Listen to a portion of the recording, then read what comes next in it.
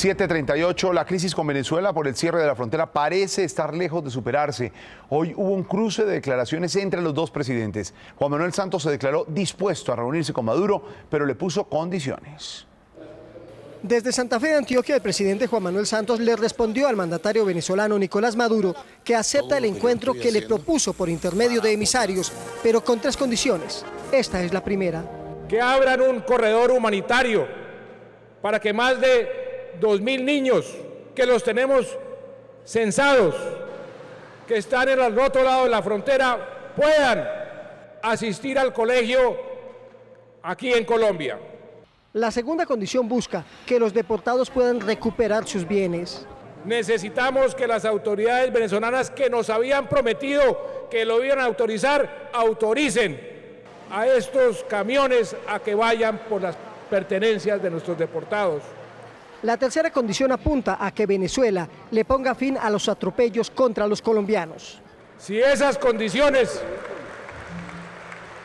que son condiciones mínimas humanitarias, se cumplen, yo me siento a arreglar este problema y yo le aseguro, presidente Maduro, que lo podemos arreglar. Santos le recordó al gobierno venezolano que los problemas de ese país no son causados por Colombia y que la venganza y el odio no están entre sus sentimientos preferidos. El presidente del vecino país, Nicolás Maduro, le respondió, aunque insistió en un encuentro cara a cara, lanzó una dura advertencia. Les va a ir muy mal si se meten con Venezuela. Desde China, el presidente Nicolás Maduro le respondió al presidente Juan Manuel Santos, le pidió al mandatario colombiano parar la locura y le reiteró una invitación para que se reúnan. Venezuela no quiere una confrontación y un enfrentamiento con Colombia. Presidente Santos, pare la agresión contra Venezuela. Agarre mínimo. Respire.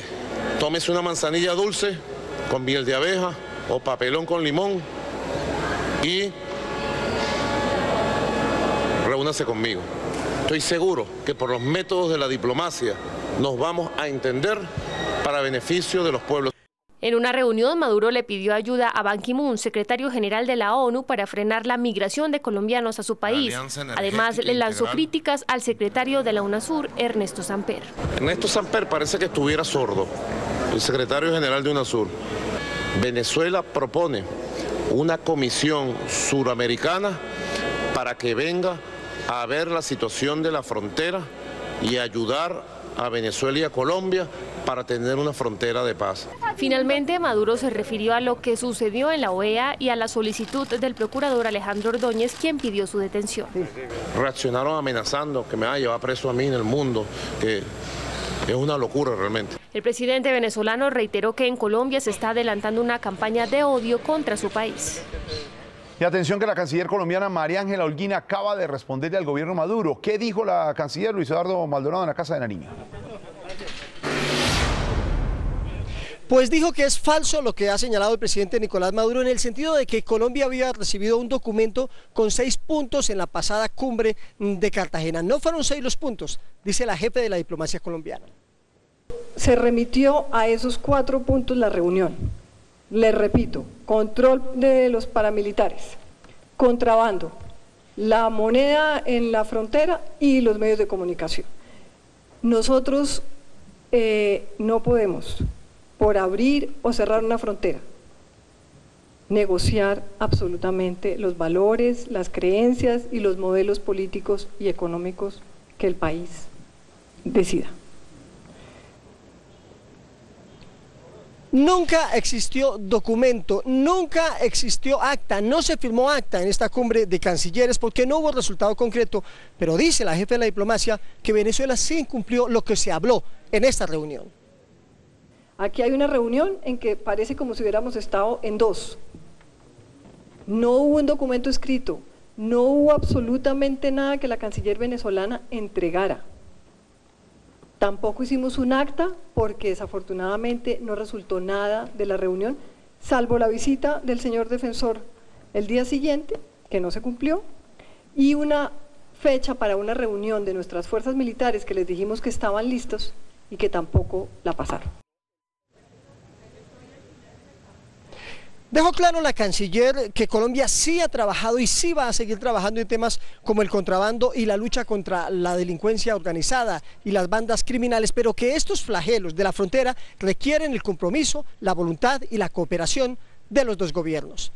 En la presidencia de la República, Luis Eduardo Maldonado, Noticias Caracol. Luis Eduardo, gracias. Otro que intervino hoy en la polémica fue el procurador Alejandro Ordóñez, quien pidió a la Corte Penal Internacional que investigue e incluso capture al presidente de Venezuela, Nicolás Maduro. Para la Procuraduría, la persecución a los colombianos en la frontera se constituye en un crimen de lesa humanidad y la califica como una política de limpieza. Por eso pidió a ese tribunal que procese al presidente Maduro, al presidente de la Asamblea Venezolana, Diosdado Cabello, a la canciller Delcy Rodríguez y al gobernador de Táchira.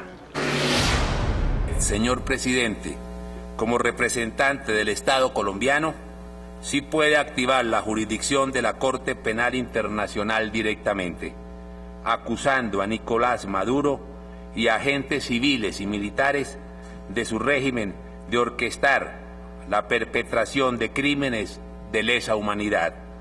Y uno de los más duros críticos del gobierno de Nicolás Maduro, el arzobispo de Coro, Venezuela, Monseñor Roberto Luker, dijo que la expulsión de los colombianos desde el hermano país es un atropello y una torpeza política del gobierno venezolano. Pero generalizar y decir que todos los que están allí, todos los que deportaron son sicarios, son vagabundos, eso es una, es una grosería. Eso no puede ser. Ahí, como decía Monseñor Monseñor Moronta, están pagando el plato roto personas muy pobres. Ciertamente yo personalmente considero que es una torpeza política del gobierno venezolano.